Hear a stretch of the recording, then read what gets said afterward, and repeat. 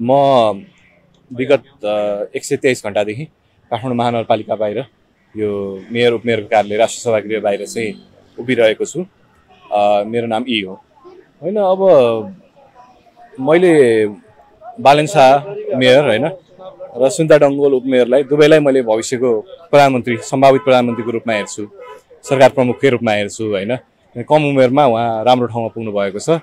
अनि भोलि राम्रो काम गऱ्यो भने अगाडि बढ्ने ठाउँ पनि थुप्रै छ होइन? अनि त्यो भन्दा भन्दै बालनजी चाहिँ नेपालको सबैभन्दा इन्फ्लुएन्सियल पोलिटिसियन पनि हो होइन? उहाँले यहाँ जे गर्नुहुन्छ देशैभरि त्यही कुरा हुन्छ। यहाँ उहाँले गरिबमाथि डोजर चलाउनु भयो होइन? गरिबमाथि निर्घात कुटपिट गर्नुभयो भने देशैभरि डोजर चल्न थाल्छ देशैभरि नगरपालिकाले कुटपिट गर्न थाल्छ होइन? यो जुन सडक व्यवसाय साइकल व्यवसाय गाडा व्यवसाय हुन्छ नि तपाईँको यो अब परम्परागत रूपले खर्पन नाम्लो बोक्ने मानिसहरूलाई विस्थापित गर्ने काम जुन काठमाडौँमा भयो त्यो देशैभरि हुन थाल्यो किनभने उहाँले गर्नुभयो त्यो होइन? अनि चुनावभन्दा अगाडि चाहिँ उहाँको कुरा चाहिँ के थियो भने यो सजिलै व्यवस्थापन गर्न सकिन्छ होइन? सार्वजनिक रूपमै एपी एपी वानको कार्यक्रममा उहाँले भन्नु पनि भएको छ अरू ठाउँमा पनि भन्नुभएको छ। सडक व्यवसाय व्यवस्थापन भन्ने ठुलो कुरा होइन। वैकल्पिक स्थान वैकल्पिक समय एउटा लाइसेन्सिङ फी होइन? जुन अन्तर्राष्ट्रिय रूपमा नि यस्ता अभ्यासहरू छन्। त्यही अन्तर्गत व्यवस्थापन गर्न सकिन्छ भनेर उहाँले प्रष्ट रूपमा बोल्नुभएको क्लिपहरू पनि अहिले पनि छ्यापछ्याप्ती सामाजिक सञ्जालमा भेटिन्छ। तर त्यसको ठिक विपरीत चाहिँ उहाँले जुन हिंसा गर्ने गरिबलाई दुःख दिने होइन दुई छाक टार्नलाई बच्चा बच्चीलाई स्कुल पठाउनलाई होइन सङ्घर्ष गरिरहेको हुँदा खाने वर्गलाई उहाँले न घर जुन घर न घाटको बनाइदिनु भयो होइन त्यो कुरामा चाहिँ उहाँ सचिनु पर्यो। पहिला भनेको कुरामा जवाफदेही हुनु पर्यो भनेर हामी यहाँ उभिरहेका छौँ। तपाईँको अब हिजो चुनावको बेला मानिसलाई के लागेको थियो होइन? भन्नाले सबै भोट गर्ने मान्छे हामी जस्ता मानिसहरूलाई काठमाडौँवासीहरूलाई चाहिँ अँ, बालन शाह होइन?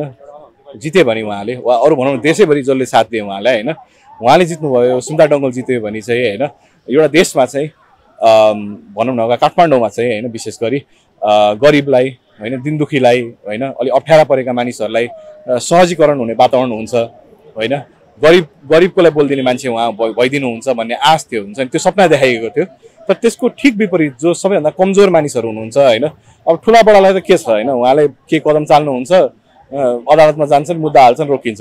तर जसले त्यो मुद्दा हाल्न सक्दैन जसले आफूलाई आफ्नोलाई बोल्न सक्दैन आफ्नोलाई अडान लिन सक्दैन त्यो वर्गलाई निरन्तर उहाँले जुन उत्पीडन दिइराख्नु भएको छ होइन? त्यो उम्मेदवार बालेन शाह र नेता बालेन शाहमा चाहिँ ठुलै अन्तर देखिएको छ।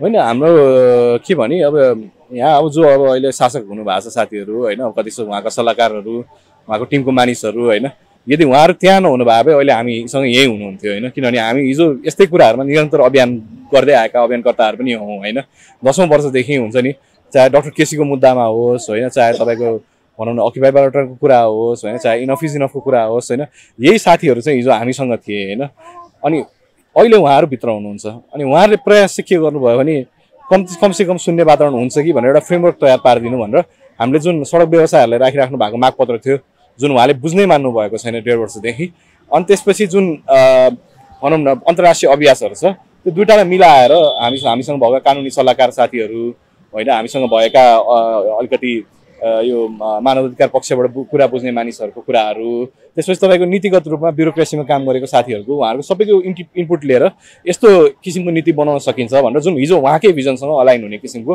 हामीले प्रस्तुत गऱ्यौँ। अब उहाँले त्यो फर्मली बुझ्न मान्नु भएन तर उहाँ समक्ष पुगेको छ।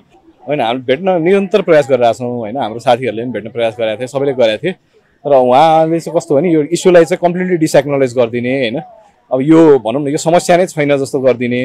होइन सहरमा यी अब भनौँ न सडक व्यवसाय गर्ने दस हजार परिवार छँदै छैनन् जस्तो हुन्छ नि उनीहरूले भोलि जे दुःख पाए पनि उनीहरूले आत्महत्या नै गर्नु परे पनि मेरो सरकारको विषय छैन भन्ने जुन अडान उहाँले लिनुभएको छ। यो एकदम दुःखको कुरा हो ठुलो दुःखको कुरा हो।